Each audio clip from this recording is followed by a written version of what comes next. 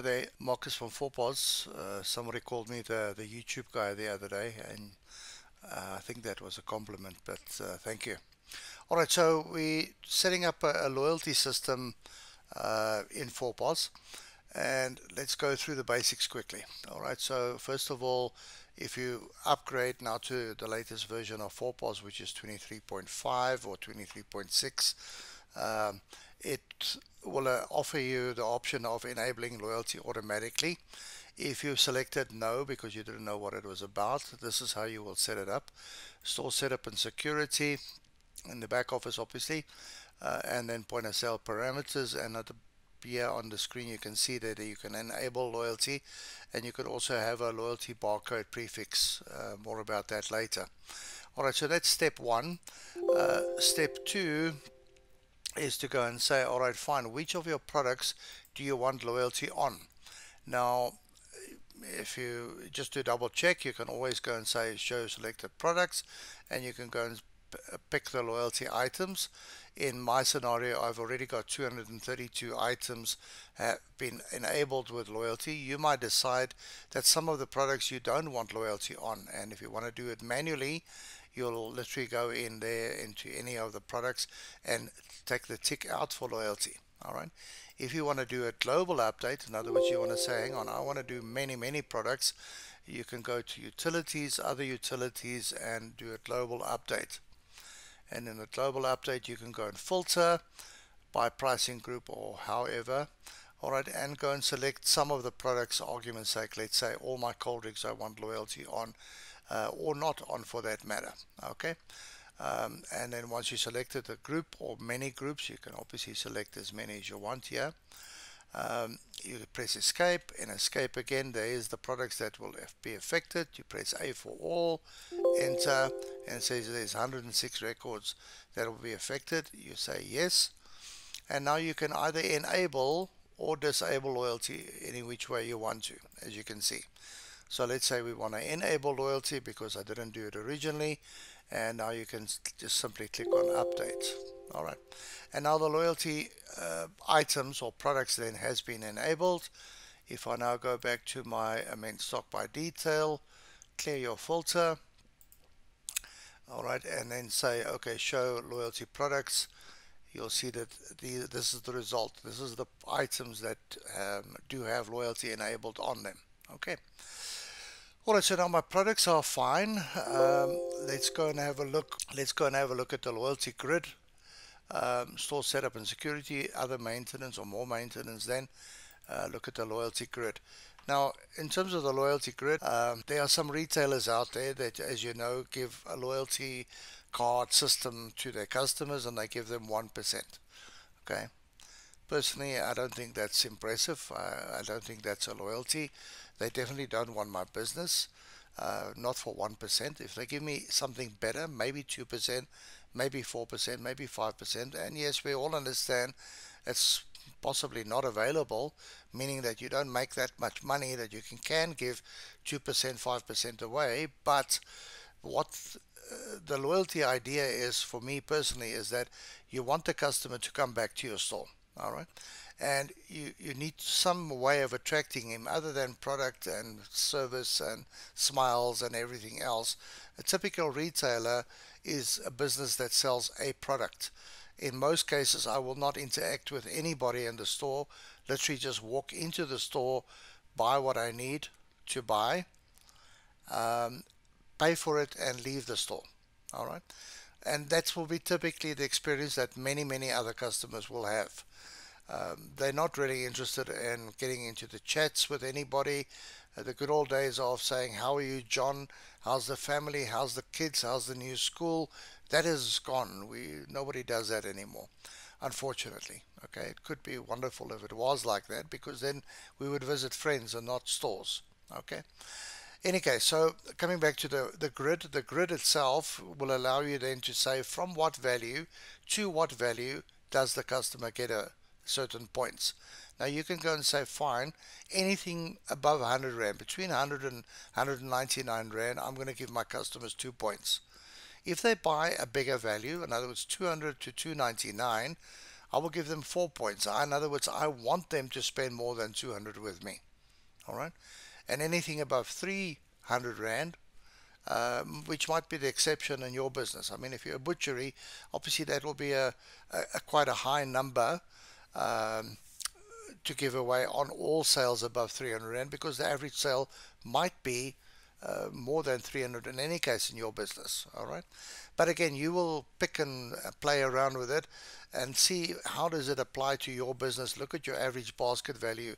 See what you want to increase uh, in terms of turnover. You want them to spend more than maybe you start off and say my, my, my average basket price is only 48 rand okay? If you want to get the customer the same customer now to buy from you 100 rand or 200 rand worth of goods give him something to come back for okay?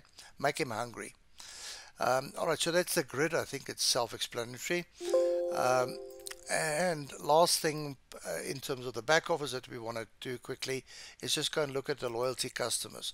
So I've just created one loyalty customer on here uh, just for sake of an, uh, uh demonstration, you'll see the customer points at zero. Uh, another customer that's already implemented the loyalty system came back and said, but I would like to amend the, the points. Uh, the idea is not to allow anybody to amend the points because it's a, a reward system.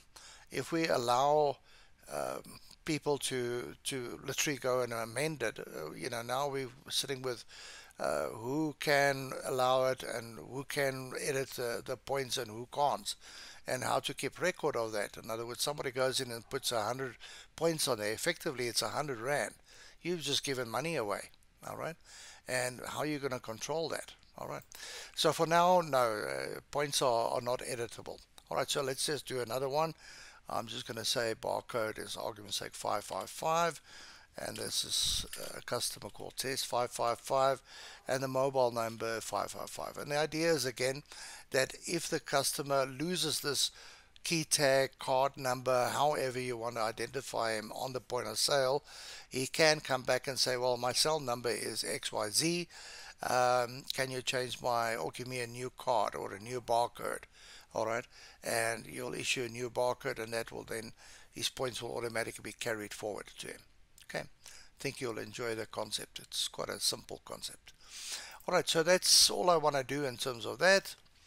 And Alright, and now we want to go and ring up some sales and see what the effect of that is. Okay, so in the point of sale, let's go and have a look at that first. Uh, in the configuration, in other words, your typical control C, um, you are able to then, if you go and look at option 26 here, loyalty options, uh, you can say, well, okay, I only want them to be able to scan a barcode uh, for loyalty. I don't want them to search for it, in other words. And then I want to automatically redeem the loyalty points. In other words, a customer has some points. Um, when they come in again, it must automatically redeem the previous points and give them a discount on this sale. All right. Or um, say that no, that must prompt to redeem the points only if it's more than 10 Rand. Now, again, uh, keeping it simple, say, well, no, there's no, there's no rules. Okay. Uh, every time they come in, they can get their points from the previous purchase. Some of our customers uh, might say, but hang on, my customers want to keep their points until the end of the year, uh, and they will redeem it for Christmas shopping so that they can use the loyalty system almost as a savings account. So their savings account might be a couple of hundred points or rands then, and that will uh, give them the benefit. On that point, let's just jump back to the back office quickly. I forgot to mention something. So if we go to stock create edit uh, other maintenance and then deposits you'll see that there's a new product uh, created automatically under deposits called loyalty and the loyalty would then be a discount on the sale and here you'll specify what the value of that discount will be in other words, if the person has 10 points, it's 1 Rand each per point. Okay, you might decide that no, it's 50 cents or 5 cents or 10 cents. Uh, that'll be your choice. Um, and you can still give the customer the same point system. You can watch a, a, couple of the other videos. One of our customers uh, sells water, and in his water business, he gives uh, one point per liter that they purchase, which accumulates into 100 liters. And if they bought 100 liters, they get 10 liters for free. So in his case, the value of the, the discount is then 10 cents. 100 points, 10 cents equals 10 rand, which is 10 liters then. Welcome to have a look and see if that works for you. Okay, let's go back to point of sale. So in my point of sale system, it's all being configured properly now. I'm just going to exit. That was the previous sale, so I'm pressing escape to get a clean screen. I'm going to search and I'm just going to ring up some cold drinks. Uh, to say six Coca-Colas. Yes, I know that's cheap, uh, but remember I'm, I've got a very good discount uh, deal from a supplier, right? Ha ha. Alright, so there's some Coca-Cola up there, and let's just go and ring up, uh, I think I rang up briskets uh, as a product as well. Good and on the brisket uh, itself I'm going to say my quantity is 0.45 yes of course you'll scan it normally but I'm just entering an amount. Okay so that gives me 139 Rand. Now bear in mind that my grid allows uh, sales between 100 and 200 to give me a two point uh, loyalty right? Alright so my sale is now 139 Rand. The customer is now presenting the the loyalty slip or card or uh, barcode for that matter, or you will ask the customer, do you have a loyalty? All right, important that part, and we will still see where how we can force it or uh, in the system to say it must always be requested before we finalize the sale. Otherwise, you'll finalize the sale, customer loses the loyalty points. Okay, so for now we've added an option in the, in the keyboards here at the bottom and says request a customer. Do you wish to select an existing one? Yes thank you. And I'm just going to test uh, use my test 555 customer. And there's my loyalty. It shows you on the bottom left hand side. And now I can finalize the sale as per normal. Yes I want a receipt. Okay so your sale is finished. Let's go and have a look at the back office and see what has happened to that customer that loyalty customer of ours. Store setup and security more maintenance again and if we look at the loyalty customer you'll see that my customers now earned two points. Okay. Uh, there's a couple of other reports that goes hand in hand with the system. Um, if you go uh, load reports etc etc go reporting and then you'll see there's a whole loyalty part here. Loyalty customer list points earned points redeemed etc etc Alright, so let's assume the customer comes back into the store now. It's the second time the next day or the same day, whenever, next week, doesn't really matter. And he comes and purchases some more items. Um, Alright, and we go and ring up uh, some other items, maybe buys a pair of shoes or whatever the case may be. And let's just say he buys a single and it buys another 178 Rand and so forth. And that's all we want to do right now. And we want to say, press our button. Do you wish to uh, use an existing customer yes thank you. And in our uh, same customer again we accept him and he now finalizes that sale again.